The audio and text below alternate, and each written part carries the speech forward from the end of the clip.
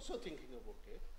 And uh, my talk today is going to be connected with my fantasies, with my research work in IISc related to vibrations and probabilistic methods of analysis.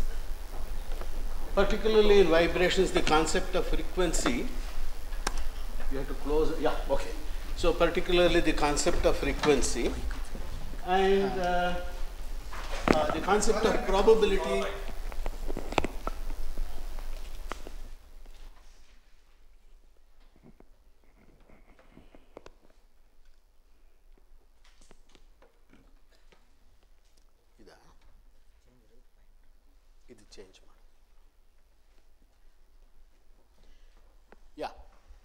um, so I'm going to, as I said, a few ideas about uh, the two um, thoughts I mentioned, namely concept of frequency, which comes up in vibrations, concept of hertz, cycles per second. Then the second one is about concept of probability. It's not chance or adrishta as he was mentioning, it is something slightly different. Uh, as I go through this, you will see what I mean. This is of course a personal uh, um, way of presenting a topic as I have understood it. And since I am talking about music, I should be a little bit careful because I know that there are very learned people here, musicians actually, who may be practicing, who, who may even conduct uh, classes, who may be teachers of music. So, I am not going to talk about practice of music or musicians themselves or how they sing or whatever. That is not my intention. My intention is to only see has there been a tradition of thinking, what you may call musicology nowadays, but the present day musicology I think it does not go very deep into the ancient Sanskrit text, as I have discussed with some of the persons who know this. But anyway, uh, once I go through this, you will know what I mean. Now, music is taken for granted as an art, it's a fine art in our university curriculum.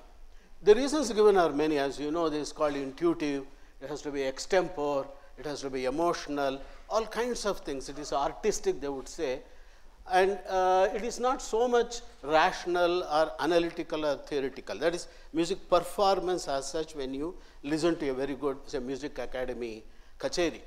Maybe that may be true, but we know that classical music, I am talking mainly of Carnatic music, but Hindustani music also gets easily included into this, is highly theoretical. It has a very strong theoretical basis that is known even to common people because you have the tala, you have the raga. Some people would say, what raga is this? They will be able to identify, some people may not be able to identify. So, there is some grammar, there is some structure. Anybody who appreciates classical music would be knowing that. Now, we also know that a good raga alapana has to be extempore or has to be afresh. Even if you listen to M.S. Subbulakshmi 10 times, each time it looks different, the same raga. So, what are these things which uh, come into this? And in fact, this uh, has been developed through an intellectual tradition. So, I want to just touch upon that intellectual tradition to some extent. Um, uh, already said these Sanskrit texts what I am going to consider and what finally I would like to show is this is this. Ragas or uh, raga is classified is almost characterized in these Sanskrit texts. I will give you the quotations and the text also will show. Almost in modern terms as a time series evolving over a defined sample space and also these texts introduce the concept of relative frequency which is uh, a concept in modern probability. Of course, modern probability goes along two lines, the axiomatic theory or the relative frequency theory.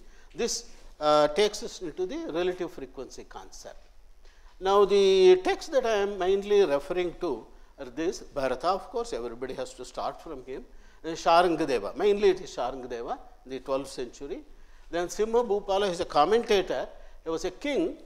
Uh, in Andhra Pradesh, I will not go into the history of uh, these persons, a very colorful, very interesting history.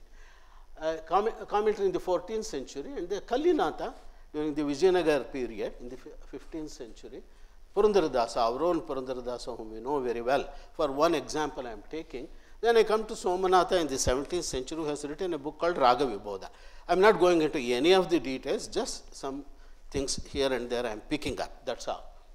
All these are commentators of uh, Sangeet Ratnakara. Sorry? All. I have Simha Bhupal and Kallinatha. Sim, yeah, they are the commentators on Sharangadeva. I'm sorry, I didn't mention that. Now, uh, where do we start? Already, you know, the Vedas have been mentioned so many times, I will not uh, say anything more on that. If you see the chanting, because Bharata traces uh, almost all these uh, music texts trace their starting point to Samaveda, to Sama chanting. But Samaveda itself will be very interesting to see that it is only Rigveda chanted in a different way. It's the same text. Now, I don't want to get to the grammar of Udatta, Anudatta, Swarita because there are many very strong grammarians here where Bahuvrihi has to be done, where the other Samasa has to be done. I will not go into that. Uh, that is Indrashatru, Vardasva and all that. But I am surprised why Sam, Sam, Samaveda changes all of that. Does it not have any meaning? There should be some special thing attached to singing hence. Now, if you see that in Rigveda, uh, just for the sake of reference, there are three swaras called Udatta, Anudatta, Swarita. Uh, if I have to normalize it, Swarita is one, let me say unity, that is actually Shadja, I can call it. Later on, people who know musical notation. Anudatta is going to be Ni, 8 by 9 ratio. High, Re Udatta is going to be 10 by 9. I have not measured this, this I have taken, I will show you the reference next. This is from a book called Ragas of Carnatic Music by N.S. Ramchandran, very ancient one, got his PhD thesis out of this. And he also gives so many things, particularly of Samagana. Why, what I am trying to show here is, already in the uh, Vedic period, there was a way of chanting or singing. We don't call it singing, we call it chanting, simply because there are no accompanying instruments. Violin and tabla is not there, that's all the difference. Otherwise, this is also music.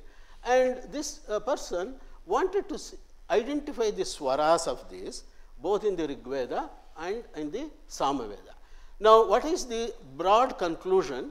It's the same mantra, Agni Mile Purohitam Yajnasya Devam Mrityujam. Here also the same. The Samagana is something like the Karahara Priya Raga, going towards slightly towards Abhogi sometimes, otherwise Karahara Priya of the modern times. I have checked up with some people, they also said when you listen, you also identify roughly Abhogi, Karahara Priya kind of thing. That means from 3 they went to 7. Actually, in Yajurveda there are 5 and then came to 7. Now, there is already a very complex system of singing, of chanting, because you have to keep track of all of this, and you would have seen even on the TVs, when the Samagana is done, they all sit together, the Pandits, and they would be doing like this, and you would be wondering what is this they are doing. There's a wonderful notation to represent the swaras, or what I would call the Vedic tones, through these kind of finger representations.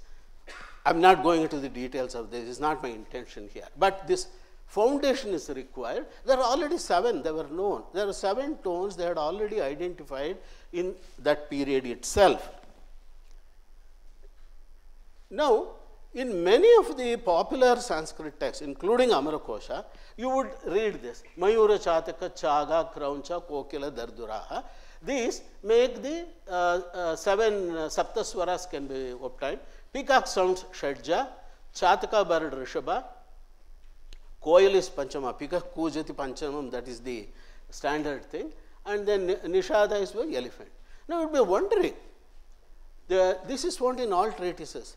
Are they just stupid to say this? Are you carefully uh, hear these sounds, at least one or two, you would see that there is a particular ratio. At least you can listen to the peacock and the koil easily. Next time when you go to IIT Kanpur, you would see so many peacocks there and hear them, listen to them, and also koil. Uh, the, that is the uh, kogile, what we say, you know then you would see that there is seems to be a, particular ratio. It is not the absolute sound they are referring to. Actually, it is going to be in two different octaves. Now, that concept of octave, what we call today in English, it is available already in music, and how did they come to that? Now, for uh, formal music, we have to have a better definition. That better definition, of course, has been already provided in the Sanskrit text, starting from Bharata's Natya Shastra.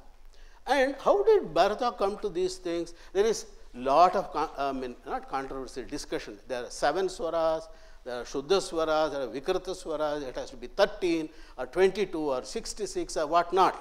Now, all that is of importance to us from a mathematical point of view, you would see in a minute. Now, Bharata's statement is here, he does an experiment with strings, with veena, with one chalaveena and one with stiraveena. So, he uses strings to make an experiment and to come out with his uh, contention, there are going to be 22 swaras or 22 shrutis as they were called in those days. I will not go into the experiment at all, but the concept that experiment has to be done is not simply darshanam observation. This is also a darshanam. Experiment is also a uh, kind of darshanam. It has to be done, and that has to be done with strings, because later on the other musicians say kanta cannot show all of this. Only with a string you can get a better one. That is with a veena. Uh, if you are interested in more discussion on this, there is a paper, a very interesting paper by one A. Bake. You can see that paper. Now, how it could have evolved is another question. Um, this is from a book, uh, History of Indian Music by Prajnanananda. It's a very readable, highly readable book. He uh, tries to show that the Veenas of those days, when this was identified, they were not the modern Veenas, but they were harp-like Veenas. The, what you would see even in today, sometimes in the film music. Um, so, um, let me just, yeah, okay. So, these are the Veenas of this kind, even from the ancient Indus Valley period uh, seals, not just in India, but also in other places, you would see these kind of strings, which were some kind of musical instruments. And from the strings, they did it. Now, what was the first thing they found out? A concept called Dviguni Bhava. This is the one which has kept me busy for a very long time. The Dviguni Bhava, they, they, they cannot explain it. They simply say that here, you know, this is again from Sangeeta Ratnakara with the commentary of Kallinatha here. We have, uh, Kante madhyo murdni taro dvigunascha uttarottaraha. So, there are three ways that you have to produce this sound. Hridi mandro abhidiyate, kanta vinikam madhya, murdni tara, and these are double, double, double. What is the double? It is, is it the effort? It's simply, but that quantification is there, but they are unable to explain what it is. But then when it goes to the swaras, actually the 7 swaras or the 13 or the 22, they are very clear that the final one is going to be double the first one. That is, you have the lower sa, the higher sa is double. That is called dviguna. Uh, here you can see, sthayi swarad ashtamastu dvigunaha parikirtita. The eighth one always is called by the name dviguna. Why dviguna? This question remains here also you see, Shruti Rupa Nada Vivakshayanto Trayo Vimsho Dviguna. If you are taking 22, then the 23rd is Dviguna. So what is this Dviguna becomes an important thing. Now, how did the Bharata and other musicologists to come to this question? Well, anyway, I will not read it. Still leaves out the question, what is this Dviguna which quantifies the Swara character? Now, Sharangadeva simply says it is double the effort. Now, my uh, uh, contention or conclusion is Bharata must have observed, because all of them they quote Bharata, that when you take a string and you vibrate a string, you know that the natural frequencies of string they are linear with reference to n. And also, if you half the length, then you get double the frequency. So, if you had a harp kind of veena in which there are 22 strings, that is what he says, and if the length was double, then he would have heard the other sound, he could have identified it. But there is one uh, key issue here, um, namely Y2. That is still not easily answerable, except when you see on this veena, the modern veena, you see the length, this, the first string is going to be the sa string, the open string.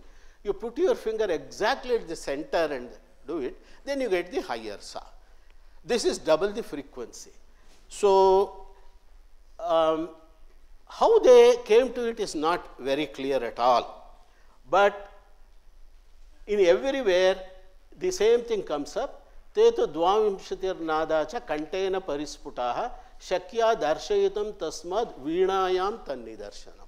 So always they want a string instrument. So vibration with strings was an extremely important thing. And how to get the resonance also he explains. Dve veene tulite karye, etc., etc. Now, again the same thing, but when they get into another difficulty, why it should be 7, why it is 22, why it is 13, why it is 22. Actually, a, a person by name Kohala, Kohala seems to be a rishi, details are not at least known to me. They identify along with Narada, Tumburu and others. Sorry? Yeah, Shikshakara, Shikshakara. Yeah, that, that is a Muni, like uh, Narada Shiksha and Kohala Shiksha. He says, Dvamshatim kechid udaharanti shrutihi. श्रुतिज्ञान विचार दक्षा षट्षष्टि भिन्ना खलु केचिद asaman anantyamanye pratipadayante. He says they're infinite actually. There are going to be infinite number of swaras in between lower sa to upper sa. That is what he is essentially telling or a continuum of sound is what he is referring to or continuum of frequencies. This is an important thing particularly you know if uh, you have some background in functional analysis, let us say in mathematics, you would immediately look for a real line and all that. This is, the, this is the real line actually. But the difficulty with this Dviguna did not end till very recent times. That is when we knew that we had to measure frequencies in hertz. See, 17th century, again Ragavibodha, yastu trayodashi staha, etc., etc., Dviguna samaha purva shadjana. He has his own vyakhyana. The vyakhyana he explains it Dviguna samha, Dvigunaschaso, Samascha, etc. All is grammatical thing. But when it comes to argument, यथा देवदत्तो नीचस्थलाद उच्चस्थना उच्चस्थानगतोपि स एवेति प्रति प्रत्यभिज्ञायते तथा इत्यभिप्रायः means a person by name Devadatta when he is standing in a lower level he is Devadatta. Goes to a upper level then also he is Devadatta. That's all what he has to say. So it is the same sa. It is twice all right. It is called Dviguna all right. Twice effort is required, all right, but it is the same element, it is the same swara, it is the higher sa. The, this octave definition is very interesting and very important for Indian music. Now, we have to be a little bit more quantitative to go further. So, what I have put here is, I have simply made a table 1 to 13. This is the lower shadja, is the higher shadja, Tarasthai shadja.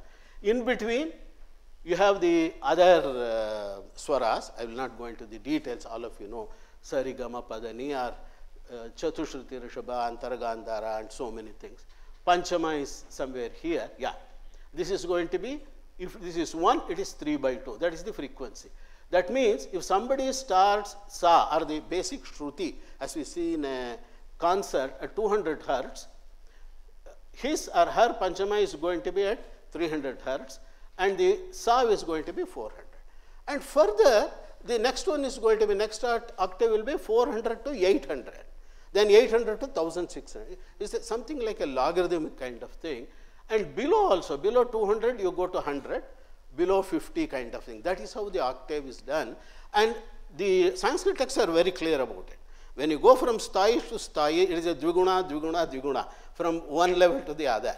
But this frequency Actual frequency they did not know and the whole music has been developed on relative frequency and the ratios. Now imagine, the ear has to listen, whatever may be the lower sa you say, it has to listen to the upper sa as 2. There seems to be some integer or rational fractions involved, maybe human ear is tuned to understand some of these ratios. So it is not necessary that number should be seen or touched, uh, like, like, the Naiyayikas say, numbers can also be heard. That, that is the important thing.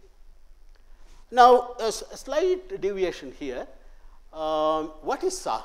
When, he, when somebody sings sa, just swara sa, it is actually simple harmonic, we know that. So, the starting is going to be, let me say, 180 hertz, but if you do a spectral analysis, you would get multiples also, 360 and multiples of that. So, when you actually hear, you are going to hear all these frequencies, multiples also there. And similarly for pa and other things. But music is not just uh, one swara, it is going to be several combinations. Suppose sa and ga. Sa and ga, if the ga ratio is at a, a rational frequency, I just plotted the phase plane because eventually what we experience is going to be not just the swara, but also the it is done. There is the velocity also. First, you can see this is a perfect, is a periodic function, comes back to back like this. But if there is slight error, is not an error, slight variation, and it is not a um, um, multiple, integral multiple, then you know the phase plane is going to be filled up. This seems to be important for identifying what they call the Vikriti swaras and other things. Now, my intention is again not to get into all of those details, because there is so much of permutation combination also, like in Tala is there, also in these things the prastaras are there, I will not get into it. But there is a beautiful concept called raga. All of us know that the raga alapana is the best, the crowning glory of classical music, so to say. Um, and there are 10 properties which are associated with a raga, that is actually a raga alapana, or to characterize a raga. All these are same more or less from the time of Bharata. It has not changed through a little bit here and there from Brihadeshi or Matanga. Slight differences could be there, but nevertheless more or less same. So, Graha, Amsha, Tara, Mandra, Nyasa, etc. I have listed here. Graha, Amsha, Tara, Mandra, Shadava, Audavita, that is uh, 6 uh, and 5 strings. Then Alpatva Bahutva and then Nyasa, Apanyasa. So, raga is formed by combining few swaras to form a sample space. Come to the word sample space because it is a modern name as we use in theory of probability. Through, though theoretically 22 swaras are recognized in practice, the scheme of 13 swara covering the complete octave is popular. Generally, the raga is defined in terms of aroha and avroha, also known as a scale. Say Shankara Bharanam Sarigama Padani, you say, you say Kalyani, you say Pratimadhyama has to come. So, this is the general understanding and even if you give the scale, you can identify the raga. You need not even listen further, you can identify the raga. Um, but what is this alpatva bahutva? This is where the second question comes up. First was Dviguni Bhava, second is Alpatva Bahutva. When I discuss this with modern, present day some musical professors, professors of musicology, they say we just say that sir, but all this is understood by practice, Gurukula Vasa, that is from that we understand. Fine, wonderful, there is no problem. But our Sanskrit text people, they were not satisfied with that. Gurukula Vasa is needed, they also say that this is a Lakshya uh, Shastra. So, Lakshya Shastra is different, you sing whatever you want, but we also do some Lakshana. We are not going to oppose you, but Lakshana will be there, there is going to be the Shastra.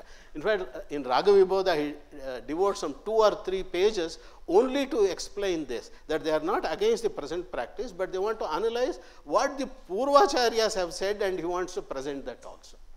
So, Sharangadeva refers to the opinions of Bharata and others, and I have given a, a gist of Rangaramanuja Iyengar, a famous music, musicologist actually. It is a succession of pleasing sounds, product of creative imagination and aesthetic flair, sparkling with melodic beauty and captivating the minds of listeners, that is raga. Definitely it is to the Department of Fine Arts and not to the Department of Science as we can see. But this is a description which is as complete as one can possibly attempt to describe words of a flowing river or a blowing wind.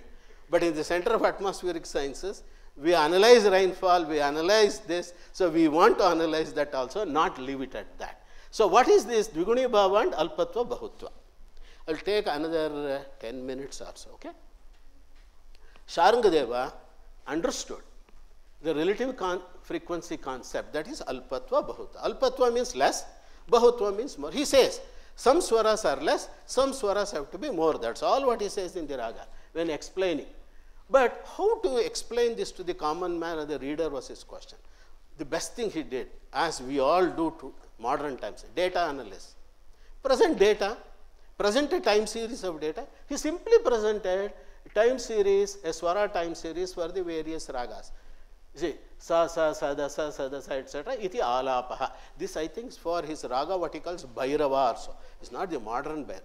Pages and pages are like this. The sample time series for the raga alapana examples. Not to be undone, in the 17th century, Raga Vibodha, he also gives for Shankara Bharana samagama, riga, risa, etc., etc. He also shows the notation. So, they also developed a meta language, not stopping at the level of the octave and the swaras, the 22, etc., for learners and taking the education forward. It's a question of knowledge, how the knowledge can be transferred.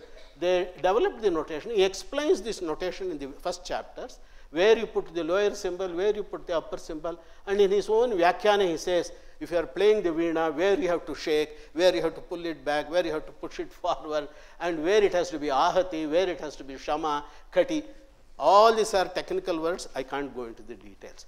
And having all of said this, for Shankarabharana he devotes four pages at least, examples.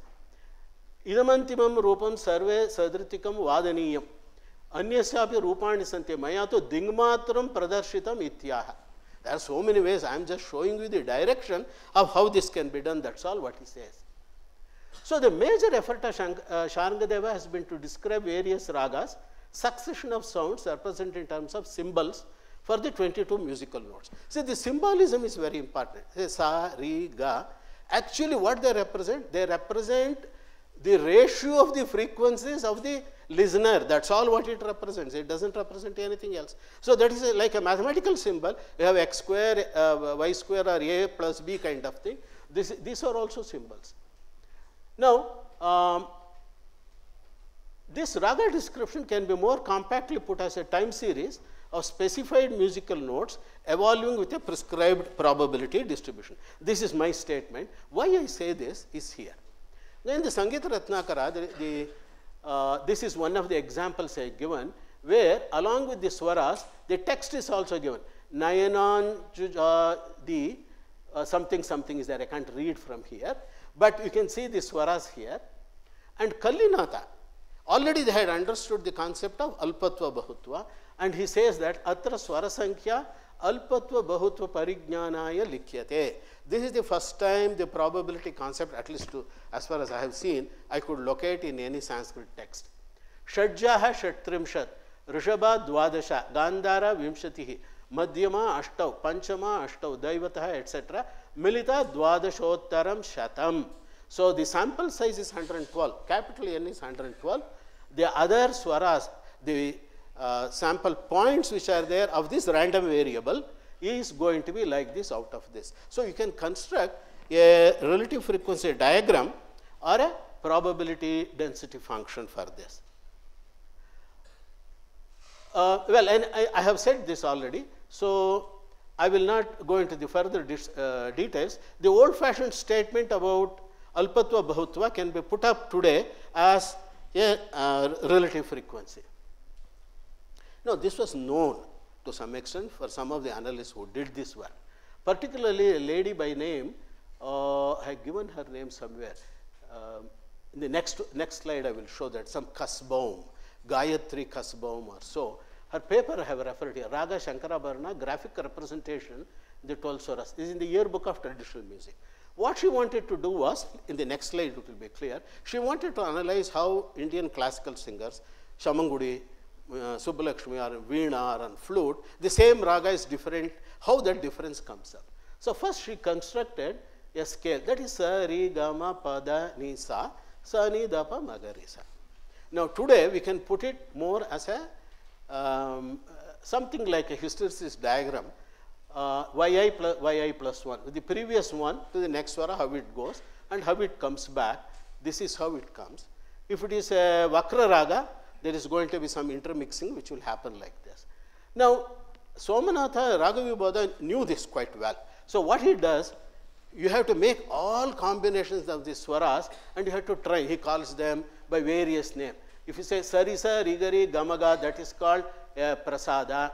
Saririsa, Rigagari, etc., it is called a Prenka and then Madapama, Panipa, etc. is called a Ranjita. He gives all these names because there's an anecdotal, something like a vocabulary they prepare. And for Alapana, he would say, you bring a Ranjita here, you bring a Pranka here, you bring this kind of thing. So th that is how he, he did it. And he also says this have to be practiced, repetitively practiced. But you see this, if, if this is repetitively practiced, you do this, do this, do this, you get a periodic function only. So Sarigama Padanisa, Sarigama Padanisa becomes monotonous and periodic function, you know, mathematically is very interesting. That is the starting point in functional analysis, but not the advanced things. Now, it won't give you music. What gives music? Yeah, this is Gayatri Rajpur Kasbo.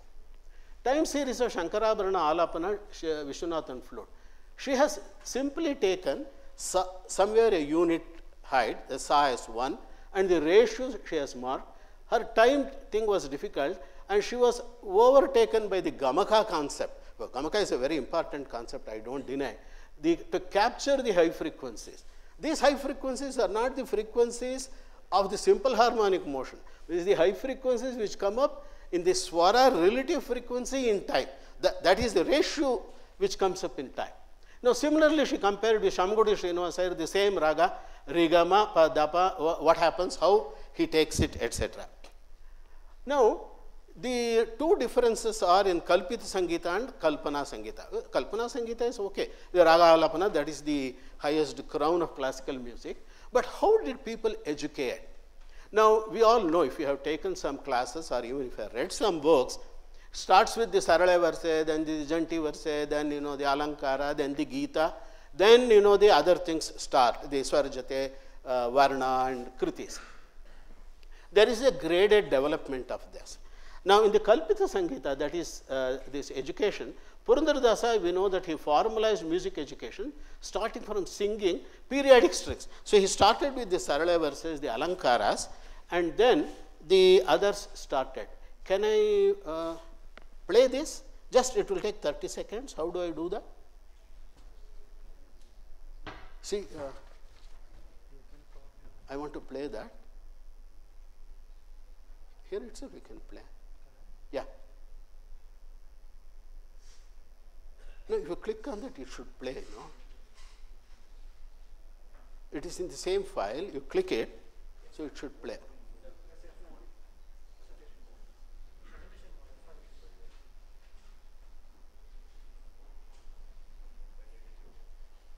No. I had indicated that I want to play this, you know. Ah, okay, leave it. Maybe. You, please click on that. Oh, I may be playing. nothing? Or you, you close that window, you go to the next, no, go to my uh, folder. Yeah, play on this, the second one, yeah. Can you play that? Well, I just wanted to bring a very important thing here.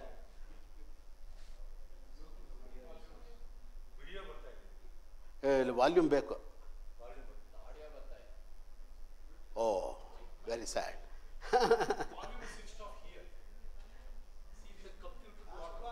computer you have stopped the volume you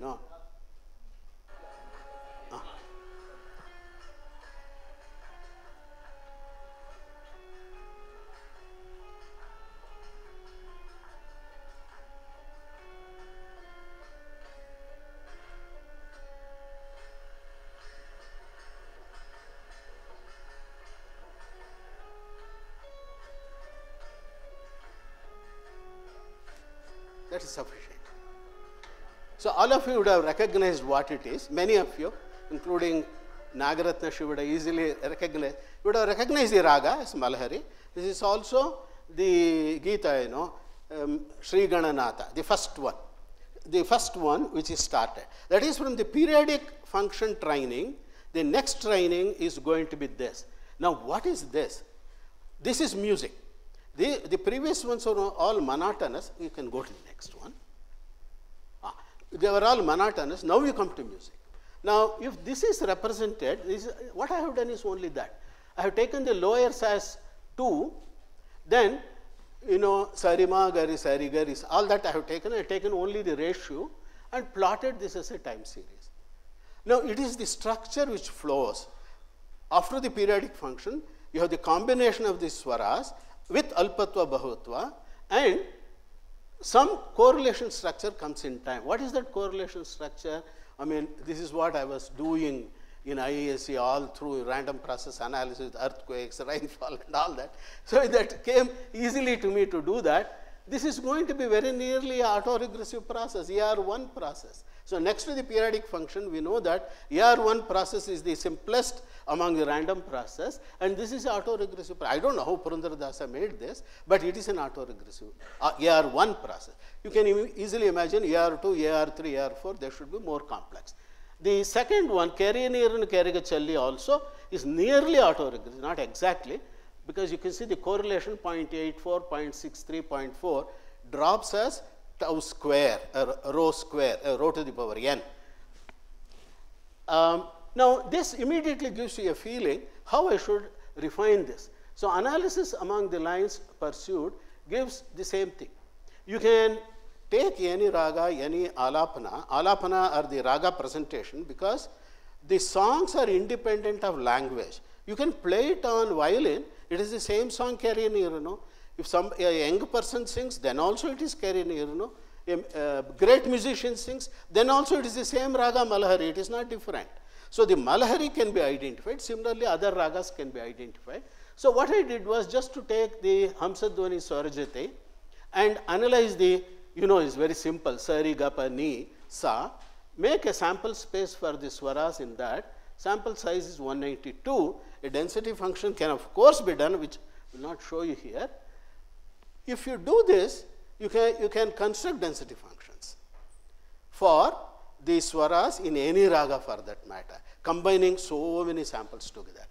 Now, in IIT Chennai, there is a professor by name Hema Murthy, many of you may be knowing, they have a, a set for analyzing classical music. They have not gone into the concept of time series, what I said. Their idea is only to collect the sounds from different musicians and to see what swaras they are using, whether it is possible to identify the raga from uh, through the computer taking a record and identify the raga. Here will immediately say, if you listen a little bit to Shankarabharana, it will say. But you see a very interesting thing. They have, uh, this is, I have given a reference here, you can see this. This is the frequency, they have put it in cents. It doesn't matter. One octave is 1200 cents. This is the lower sa, this is the upper sa. In between, the, you have to have seven swaras, but you can see re is very low.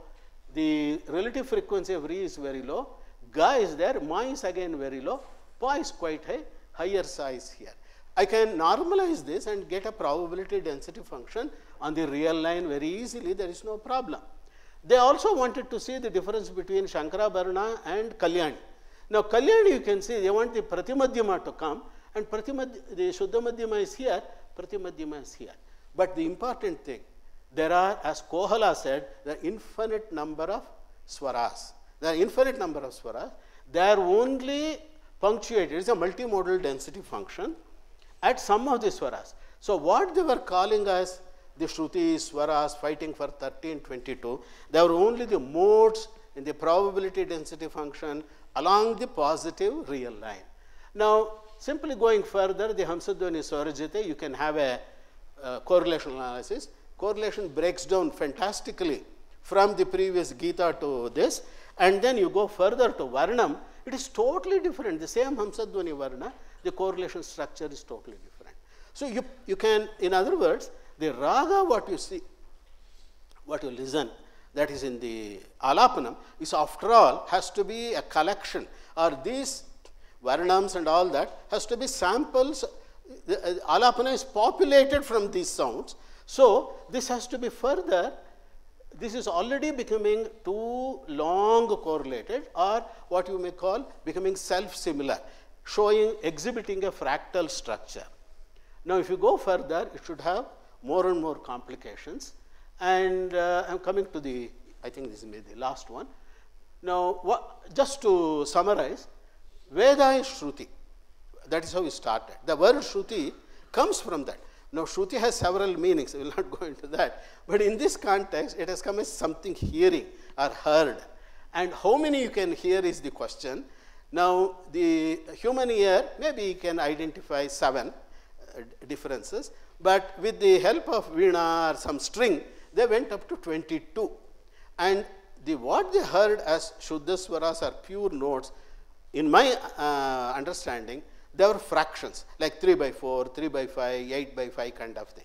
Whereas this is actually in music, it is a almost periodic function or incommensurate frequencies come into picture because the it is continuum in 0 or 1 to 2 it is a continuous line uh, So that is why the division into 13, 22, 66 are infinite number of swaras. So this alpatva bahulatva is actually the relative frequency and this um, uh, raga music is actually independent of language. Even though all this has been done in Sanskrit, the whole music itself is independent of language. Now, there is a definition of mathematics given by Hardy. That is, a mathematician like a painter or a poet is a maker of patterns. If his patterns are more permanent than theirs, it is because they are made with ideas. Now you can see the theory and practice of raga music fits into the above definition. The ideas, they were not yet quantified, but the ideas were so strong, concept of octave, the concept of diguni baba, the alpatva bahutva, and then mixing them in different orders. So raga music may be termed esoteric, eminently enjoyable time series mathematics. See, this was my fantasy. So that because people think random process is something which is all just show it. If it's an elective, don't take that subject. That is what in IISc people would do, but it is not. This is actually a product of the ancient Shruti or the Vedic tradition. Thank you very much.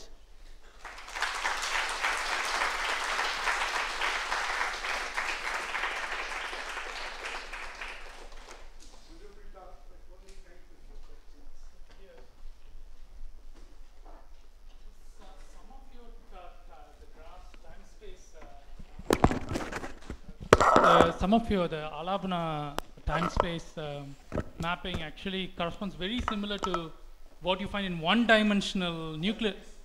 No, no, some of the graphs that you presented looks very similar to some of the fundamental vibrations you observe in one dimensional nuclear magnetic resonance Nuclear magnetic resonance of like hydrogen atom and things like that.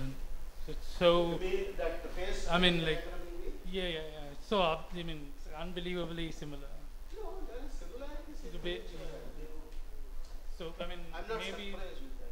yeah, there, this, I mean, the correlation between the molecular, I mean, atomic level vibrations and this being very similar, I find it very interesting. Clari- Clarificatory question. What is plotted against what is T per Sarimagari is not very clear to me. What exactly is plotted against uh, Uh, in- Yeah. in uh, Sorry, I the mean, time series, Maybe two elementary, yeah, In time, the time yeah. series? Time is x-axis or what is the? And y-axis is what? In fact, any, yeah, yeah, this is the one you are telling. yeah, yeah. Yeah, here, you see, I have, X-axis time, yeah. this is matra time. Ah. Relative time is not in seconds, it's simply matra. Yeah, yeah. Like, you know, in the written music, is a Kalpit Sangita, it's a one matra like this, you know. Yeah. So it may be relative. Here, it is the swara. So sa, the lower sa is two I have taken. So re would be, I had given you a table previously. na? Okay, that's right. As per the table is the ratio. So this will be in 2 to 4. 4 means the higher sa and it will go to re also, higher re. I can't sing. So Yeah, yes, sir, uh, yeah. I am showing there. That is the one. So similarly the same thing here. In all it is the same. Other things, sir. okay. And this is But those simply. lines are also observed in there. Sorry? That's a pattern from a singer's, a frequency pattern of a singer or you have just connected those points? I have, I have connected that because in singing it becomes continuous. But in the book it is given sari ma gari sari Oh, gari oh. sari. No, that I have taken. That's all. And you are saying the, in actual raga it will be more complex It, it, it is going to be continuous. Continuous and, uh, It becomes continuous whi- while they sing. That's why I showed that uh, audio, you know, Audio, where it is not sung, but it's played like this. Right, yes. So you recognize it, it's a continuous thing that you can hear the sound. It is not discrete in time, what you hear. Here, I have, for my anal- analytical purposes, I have discretized. That's all.